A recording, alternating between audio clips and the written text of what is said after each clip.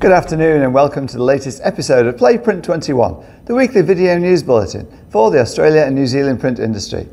This issue is sponsored by Ball and Doggett, Australia's largest supplier of printable materials and pressroom consumables, and now supplying wide format equipment. Tough news to lead this week. Access Print Solutions and sister company Graphic Print are in voluntary administration. The general commercial printers calling in the suits uh, to try and rescue the businesses. Both are significant sized print businesses with around 50 staff each. Uh, Access, based in Granville, New South Wales, Graphic Print uh, is one of only three Australian companies running HeatSet Web. That's located in Richmond uh, and also in North Plympton, uh, both in South Australia. Access was about to celebrate its 20th anniversary. It was founded in July 2004 by Mark Holmes and Norbert D'Souza. It bought Adelaide's graphic print, uh, which was established in 1961, back in 2015, and then bought Wayne Sidwell's uh, Adelaide heatset operation, Cadillac Printing, uh, just a year later.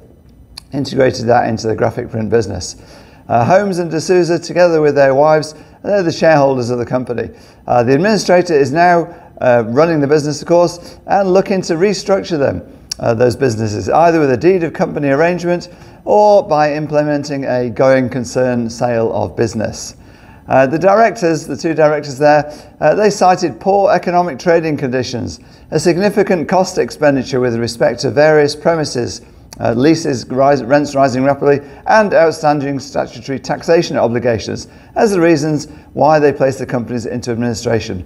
First meeting of creditors is scheduled for Friday. Uh, second creditors meeting, uh, that's set to take place in four to six weeks' time. The administrator says it's too early, of course, to tell if unsecured creditors will see any of their invoices paid. Uh, the country's largest packaging print operations, including Amcor, Orora, and Visy, are all championing a more inclusive and gender balanced workplaces uh, situation by joining the National Association of Women in Operations, NAWO. Uh, the association has 90 company members, uh, recognising the support of, that it brings uh, and the transformative impact of diversity and inclusivity within historically male-oriented sector, print and packaging. Other packaging print members, including Detmold Group, Opal and Oji, uh, are also included in the NAWO, NAWO membership. Uh, NAWO recognise the urgent need for pressing, for pressing societal changes, including a national crisis of gender-based violence, and workforce shortages across multiple male-oriented industries. Uh, they've identified, uh, been identified in the government's Future Made for Australia plan.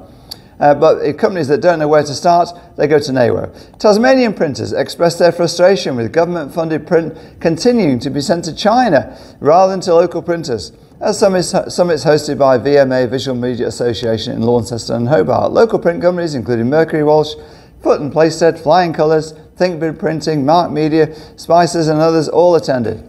As well as discussing taxpayer funded print going to China, the summits also discussed how to improve the quality of training uh, for, the Tas- for Tasmania, how to build IR and HR health check services, and how to arm printers with the skills to sell print based on effectiveness and environmental credentials uh, is services that are meaningful to customers.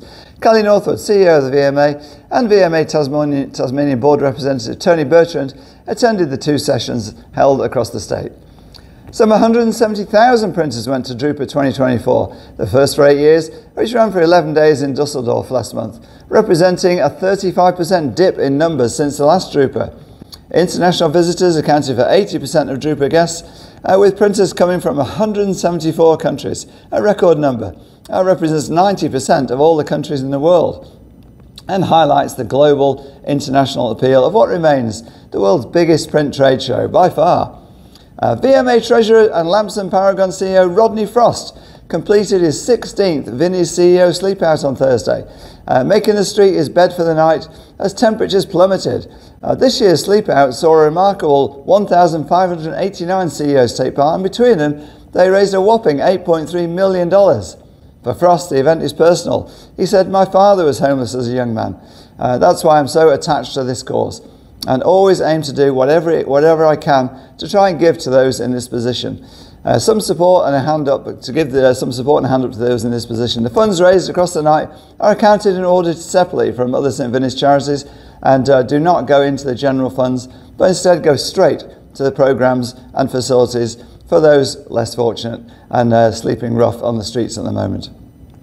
That's it for this week's episode of Playprint 21. Go to playprint21.com.au for all these stories in depth and more. Uh, you'll find them there on the industry's only print news website.